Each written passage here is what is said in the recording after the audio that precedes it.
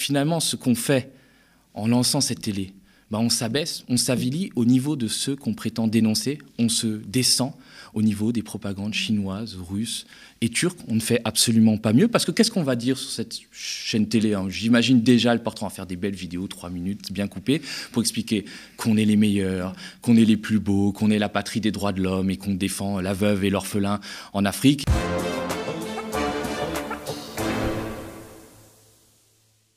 Parler de la nouvelle chaîne télé créée par le Quai d'Orsay. Alors Thomas, euh, tu es aujourd'hui venu nous parler de la création d'un nouveau média en ligne et pas n'importe lequel. Alors d'ordinaire, la coutume, quand il y a un média qui en ligne, surtout qui se crée et qui peut-être pourrait faire comme nous, c'est de saluer euh, la création de ce nouveau média et de dire bonne route à nos confrères. Sauf que là, je suis un peu tombé de ma chaise. J'ai pensé à la phrase d'Audiard qui disait que les cons, ça ose tout et c'est même à ça qu'on les reconnaît.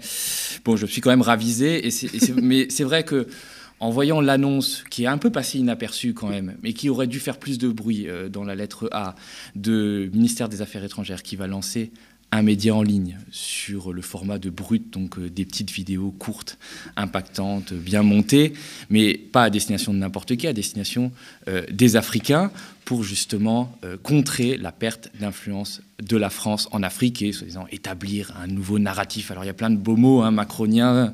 Dans la droite ligne de la Startup Nation, on va fabriquer de nouveaux imaginaires et surtout, l'idée derrière, c'est de, soi-disant, démonter les fake news et de contrer la propagande chine, euh, chinoise, russe ou turque qui existe aussi euh, sur le continent africain. Et donc, tout ça fait suite à, à une idée de notre génial Emmanuel Macron, notre grand Mamamouchi. Je crois qu'on peut l'écouter. On doit être beaucoup plus agressif, mobilisé sur ce sujet. C'est pourquoi nous avons créé ces dernières années un poste d'ambassadeur justement dédié euh, spécifiquement à cette question qui est euh, absolument fondamentale et, qui à mes yeux est, comme je viens de l'évoquer, clé et qui permettant justement de travailler sur la diplomatie publique en Afrique, permet d'installer notre narratif et de donner nos arguments. je pense que collectivement, nous devons être beaucoup plus réactifs, beaucoup plus mobilisés sur les réseaux sociaux, travailler avec des alliés, des partenaires de la France dans les opinions publiques, pas simplement pour contrecarrer, évidemment, ces fausses informations, mais pour pouvoir les stopper de manière très claire au plus vite et porter la valorisation de nos propres actions. Et à cet égard, nous devons beaucoup mieux utiliser euh, le réseau France Média Monde, qui est absolument clé, qui doit être une force pour nous. Et je pense que nous avons collectivement à repenser notre grammaire commune. Alors, ces propos, notamment la dernière phase, avaient beaucoup fait parler. Je rappelle que le réseau France Média Monde, c'est donc c'est un réseau public hein, de, médias qui comporte notamment France 24 et RFI qui sont très écoutés ou très vus euh, en Afrique. Et c'est vrai que ça avait fait une levée de bouclier de la part euh, des journalistes de France 24 et de RFI parce que déjà ces propos d'Emmanuel Macron mettaient en danger les correspondants de France 24 et de RFI qui travaillent dans les pays africains et qui via ces propos, auraient pu être vus comme des agents d'influence ou des relais de la propagande euh, de Paris et subir euh, des atteintes, puisqu'il y a un véritable désamour euh, de la France en Afrique. Alors on peut reprocher beaucoup de choses à RFI et France 24, mais quand même cette levée de bouclier était salutaire. Donc Emmanuel Macron, il s'est dit, bon, alors ils sont pas assez dociles, donc on va essayer de créer notre, notre petite télé à nous. Alors on va pas la mettre directement, hein, c'est ce qui est annoncé sous tutelle du Quai d'Orsay pour faire semblant, on va créer une sorte de machin qui a été annoncé l'année dernière lors de, du sommet de Montpellier qui était consacré à l'Afrique, qui s'appelle soi-disant la Maison des mondes africains et des diasporales. C'est elle qui pilotera euh, cette euh, nouvelle télé qui sera visiblement lancée d'ici euh, l'été 2024 euh, et ça s'inscrit dans une stratégie très très offensive de la France en Afrique, hein, euh, vraiment de la communication, on sort l'artillerie lourde, on n'y va pas par quatre chemins, ça s'est fait notamment, Emmanuel Macron en parlait par la nomination d'un ambassadeur pour la diplomatie publique en Afrique qui est très très offensif, c'était Sylvain Ité, aujourd'hui c'est Anne-Sophie Ave qui est ancienne, ambassadrice au Ghana, ça s'est fait aussi par l'utilisation un peu dispendieuse de nos fonds publics parce qu'il faut quand même savoir que ce nouveau média, enfin ce soit en média, moi j'appelle pas ça un média, va être financé par nos fonds publics, que depuis quelques mois, il y a des fonctionnaires qui euh, répondent sous pseudonyme euh, aux attaques contre la France en Afrique. Alors on critique beaucoup les trolls russes, mais au moins les trolls russes, ils sont payés par Evgeny Prigogine, le patron de Wagner, et pas par le contribuable, russe, alors que nous, on paye. On embauche même euh, une sous-direction du Quai d'Orsay qui est aujourd'hui consacrée à cette guerre informationnelle, embauche des cabinets privés comme l'agence Concerto pour promouvoir une meilleure vision de la diplomatie française en Afrique. Et tout ça pour aller expliquer aux Africains comment ils doivent penser, parce qu'évidemment ce sont des grands enfants qui ne sont pas capables de penser par eux-mêmes et qui sont forcément manipulés par des puissances étrangères, par les Russes, par les Chinois, par que sais-je. C'est absolument inconcevable aujourd'hui en France pour nos décideurs d'imaginer qu'en fait bah, les Africains, ils en ont peut-être marre de, 60, de, des années et des années de colonisation, de post-colonisation, ils ont un désir de souveraineté. Donc euh, tout ça, la création de ce média, ça quand même, ça sent bien rance, hein, le paternalisme, le colonialisme, le colonialisme un peu le racisme aussi. Et alors Emmanuel Macron déshabille Pierre euh, pour habiller Paul, c'est-à-dire qu'il supprime la taxe audiovisuelle pour faire euh, permettre aux, ménages d'économiser, mais pour financer son média. Enfin bon, ce n'est pas très grave hein, parce qu'au Quai d'Orsay, on pense que lancer une chaîne télé va résorber hein, le sentiment contre la politique française qui se fait jour en Afrique. Bah, bonne chance. Bonne chance. Alors c'est déjà très bien de faire le distinguo parce qu'il n'y a pas de sentiment euh, anti-français en Afrique comme on l'entend dans les médias mainstream. Il n'y a pas de sentiment contre les Français qui vivent, qui travaillent. Il y a un sentiment contre la politique euh, française sur le continent. Et alors bonne chance pour aller le démonter parce que c'est vrai que des erreurs, on les a accumulées euh, ces dernières décennies.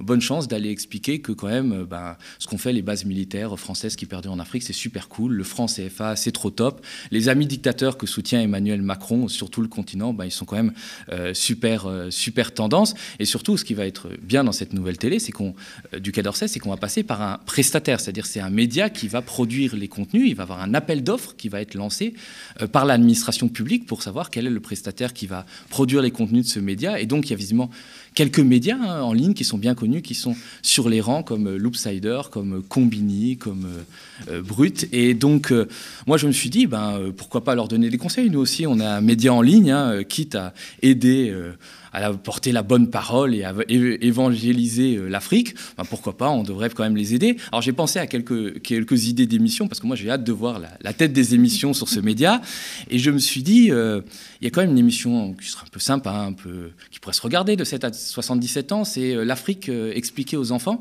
et j'ai pensé à un animateur qui serait tout à fait adapté pour le poste, je crois qu'on peut regarder. C'est que l'homme africain n'est pas assez entré dans l'histoire le paysan africain, qui depuis des millénaires vit avec les saisons, dont l'idéal de vie est d'être en harmonie avec la nature, ne connaît que l'éternel recommencement du temps, rythmé par la répétition sans fin des mêmes gestes et des mêmes paroles. Dans cet imaginaire où tout recommence toujours, il n'y a de place ni pour l'aventure humaine, ni pour l'idée de progrès. Dans cet univers où la nature commande tout, l'homme échappe à l'angoisse de l'histoire qui tenaille l'homme moderne. Mais l'homme reste immobile au milieu d'un ordre immuable où tout semble être écrit d'avance. Jamais l'homme ne s'élance vers l'avenir. Jamais il ne lui vient à l'idée de sortir de la répétition pour s'inventer un destin. Bah, c'était éprouvant déjà de l'écouter. Et euh, enfin bon, tout est hallucinant dans son discours, mais le moment où il parle de l'homme africain qui cherche à être en phase avec la nature. Oui, dans la savane, euh, avec les cases, euh, voilà l'image d'Épinal, oui, oui. Ce colonialisme malheureusement perdure et je pense qu'il a été à l'origine de la création de cette télé. Alors, il faut espérer que. Oui, c'est un, sacré concept d'émission. Oui, on en reste un peu bouche bée. Alors, juste, on espère quand même un truc c'est que d'ici 2024 et d'ici le lancement de la télé Quai d'Orsay, Nicolas Sarkozy sera toujours libre pour pouvoir aller venir présenter des programmes parce qu'il a quand même certains problèmes euh, judiciaires, dirons-nous. Alors peut-être qu'il aura un bracelet électronique et qu'il pourra compter sur la protection de son grand ami, avec qui il partage des réseaux, euh, Emmanuel Macron. Et de toute façon, c'est pas très grave si Sarkozy n'est pas là, parce que Emmanuel Macron, il joue quand même le rôle du Joker. Il, il adore disserter sur l'avenir de l'Afrique, de faire des grandes phrases, et puis des grandes phrases des fois qui, sentent un peu le rance, on l'écoute. Ça fait d'ailleurs des décennies qu'on vous promet des plans Marshall pour l'Afrique et qu'on les a d'ailleurs décidés et faits. Donc, euh, si c'était aussi simple, vous l'auriez constaté. Le plan Marshall, c'était un plan de reconstruction matérielle dans des pays qui avaient leurs équilibres, leurs frontières, leur stabilité. Le défi de l'Afrique, est totalement différent, il est beaucoup plus profond, il est civilisationnel. Et ensuite, il y a une responsabilité partagée. Le plan Marshall que vous voulez pour l'Afrique, c'est aussi un plan qui sera porté par les gouvernements africains et les organisations régionales. C'est par le biais d'une gouvernance plus rigoureuse, de la lutte contre la corruption, d'une lutte pour la bonne gouvernance, d'une transition démographique réussie. Quand des pays ont encore aujourd'hui 7 à 8 enfants par femme, vous pouvez décider d'y dépenser des milliards d'euros, vous ne stabiliserez rien. Alors, le problème de l'Afrique, c'est pas le réchauffement climatique, c'est pas les accords commerciaux inéquitables qu'on leur a imposés, c'est pas les accords de pêche où il y a des chalutiers européens qui vont piller euh, les eaux africaines, c'est pas le franc CFA, une monnaie qu'on a imposée qui empêche en grande partie euh, l'inflation, c'est pas les dictateurs qu'on maintient depuis avec la bénédiction de Paris qui eux maintiennent leur peuple dans la misère. Non, non, la faute revient aux Africains qui font 7 euh, à 8 enfants et qui, bien sûr, ne savent pas euh, se tenir et qu'il faudrait, parce que c'est le discours sous-jacent, mm. euh, éduquer. Mm. Et donc, c'est assez, assez scandaleux. Mm. Je me suis dit qu'il y aurait quand même des grands moments à mettre en lumière sur cette nouvelle télé Quai d'Orsay. On pourrait même passer des, des, blockbusters, des trucs qui déménagent un peu comme Avengers.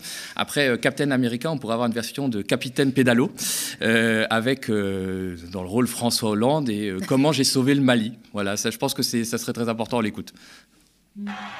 18h30, place de l'indépendance à Bamako. Le choix du lieu n'a pas été fait par hasard. Un symbole pour filer la métaphore d'une nouvelle délivrance.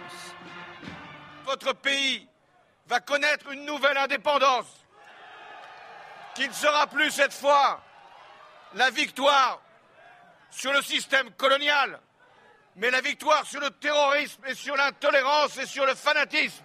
Voilà votre indépendance. Le terrorisme a été repoussé, il a été chassé, mais il n'a pas encore été vaincu. Alors qu'avons-nous à faire? Continuer, poursuivre. Et la France restera avec vous le temps qu'il faudra. Mais c'est surtout la population de Tombouctou, libérée il y a quelques jours à peine, qui a fait l'accueil le plus chaleureux au président français. Rebaptisé Papa Hollande, le pacificateur ou encore le libérateur, le président s'est offert un bain de foule au milieu des Maliens en lien. Il n'y en a pas un pour rattraper l'autre. Hein. Et bien évidemment, Flamby a jamais sauvé le Mali. On l'a vu qu'en 9 ans de présence militaire française au Mali, ben, le djihadisme n'a absolument pas été repoussé. Au contraire, euh, il s'est euh, étendu. Euh, voilà, multipliant ces zones d'influence et d'intervention non seulement au Mali, mais aussi aux pays euh, limitrophes, et que finalement l'armée française a fini par être considérée comme par les populations locales comme faisant partie du problème et non pas de la solution, qui a même eu des manifestations euh, pacifiques qui ont bloqué des convois de l'armée française, et que l'armée française, pour toute réponse, parce que soi-disant elle protège les peuples africains, s'est mise à tirer sur ces manifestations pacifiques, comme en novembre et décembre dernier au Burkina Faso et puis au Niger, mais ça je pense pas qu'on en parlera sur la, sur la télé Quai d'Orsay, que chute, on fabrique de nouveaux imaginaires. Hein. c'est ça euh, qui est prévu au cahier des charges. Raconter euh, des gros bobards aux gens. Ouais, c'est ça, en gros, en traduction. Est-ce que finalement ce nouveau média ne ressemblera pas à ce qui se fait dans des pays moins démocratiques? C'est vrai que c'est quand même assez inquiétant. Déjà, je suis pas mm. sûr que, je le disais tout à l'heure, qu'on puisse utiliser le qualificatif de média pour ça. Et puis, euh, c'est vrai qu'on a l'impression que la France veut un peu son Russia Today ou son TRT. Mm. Euh, c'est quand même assez inquiétant. Euh, d'autant que, vu la propension d'Emmanuel Macron à disserter en long et en large et en travers, hein, on l'a vu après les Gilets jaunes quand il a organisé son grand dialogue national qui a fini par ressembler à un grand monologue. Hein. L'impression que des fois qu'on est dans Allo Presidente, tu te souviens cette émission au début des années 2000 où Hugo Chavez parlait pendant des heures sur le Venezuela. Et il était écouté. Et au moins, il, était écouté. Mais là, Emmanuel Macron, euh, il aime surtout parler sur, sur l'Afrique. Vraiment, il aime ça. Il aime disserter. Il aime, en, il aime en parler des heures et des heures. Et il peut même vous donner des conseils pêche et puis euh, des petites astuces pour réparer votre clim. On regarde. Il y a des tapouilles et des quoi ça, quoi ça. Hein ah non, c'est un maillot, c'est quoi ça, quoi ça. Donc, vous êtes un connaisseur. Mais le quoi ça, quoi ça pêche peu. Il, pêche Il amène du comoréen. c'est différent. Nouveau drame de l'immigration à Mayotte avec le naufrage d'un Kwasa Kwasa en 6 morts et 10 disparus. Un nouvel accident de Kwasa Kwasa. Ils étaient 43 Comoriens. Le naufrage d'une barque d'émigrés clandestins en provenance des Comores. Mais le Kwasa Kwasa pêche peu. Il, pêche Il amène du Comorien. C'est différent. Voilà. Bon. La tapouille, c'est le crevettier. Ouais. Interrogez-vous sur interrogez-vous sur le sous-jacent psychologique qu'il y a derrière votre interpellation et l'enthousiasme que ça a créé. C'est quelque part, vous me parlez comme si j'étais toujours une puissance coloniale. Mais moi, je ne veux pas m'occuper de l'électricité dans les universités au Burkina Faso.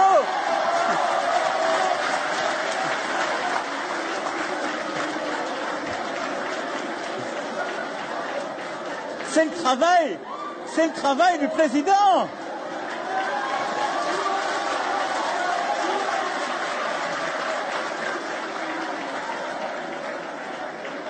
Alors par contre, alors par contre, je vous rassure, du coup il s'en va, reste là.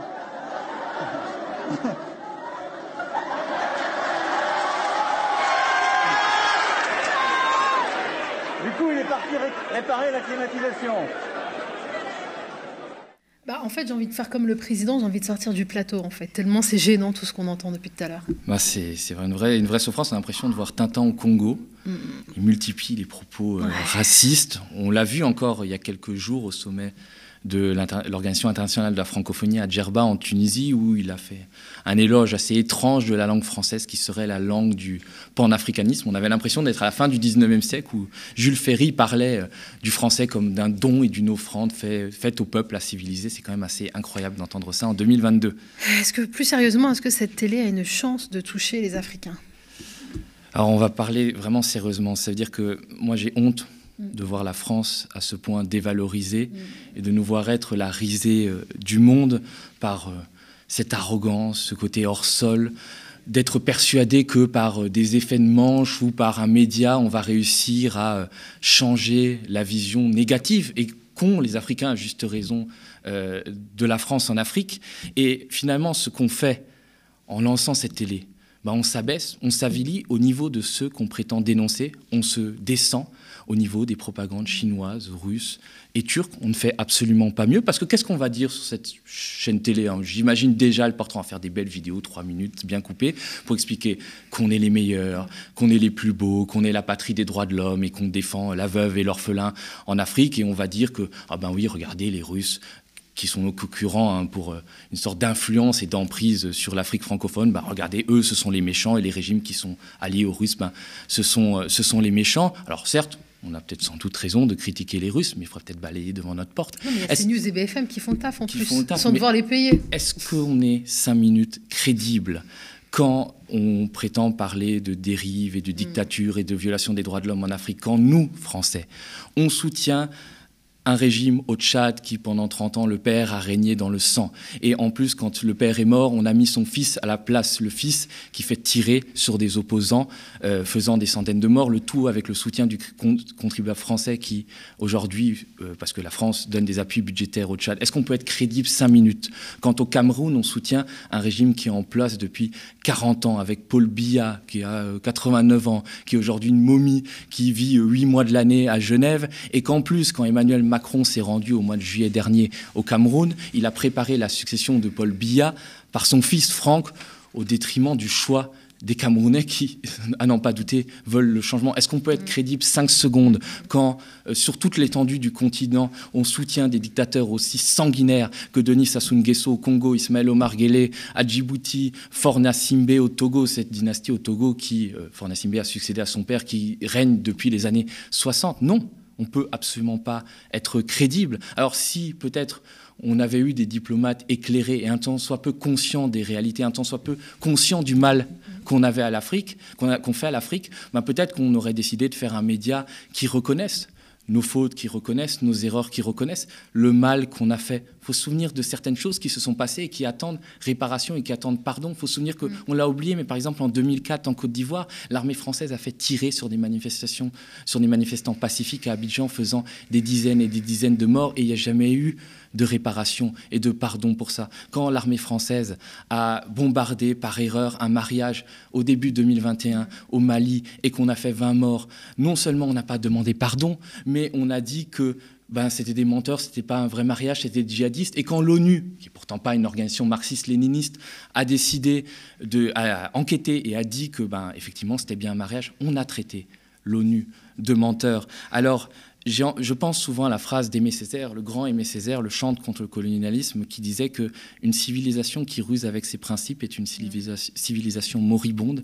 Et je pense justement, c'est ce qui est en train d'arriver en France. C'est ce que font aujourd'hui nos décideurs politiques qui n'arrivent pas à se rendre compte du désamour et de l'humiliation qu'ils font subir à la France, à l'étranger. Alors bien sûr que cette télé ne réglera rien et contribuera encore plus à la perte de crédibilité de la France dans le monde et principalement en Afrique. Merci beaucoup Thomas Dietrich. Euh, c'est la fin de ce flash info euh, de 15 heures. On vous rappelle que le Média 24-7 compte sur vous. Assez dur hein, de, rebondir et de faire des transitions, euh, Thomas, avec tout ça. on vous rappelle que le Média 24-7 hein, compte sur vous pour survivre et pour qu'il prenne sa place légitime dans le PAF et encore, et encore plus quand on sait qu'il y a un outil de propagande en face qui va chercher quelque part aussi à étouffer euh, la voix, les voix euh, de ces médias indépendants. Payés avec nos impôts en plus. Voilà, payés en plus avec nos impôts et qui quelque part aussi euh, vont racheter la parole de certains médias qui vont postuler à cet appel d'offres.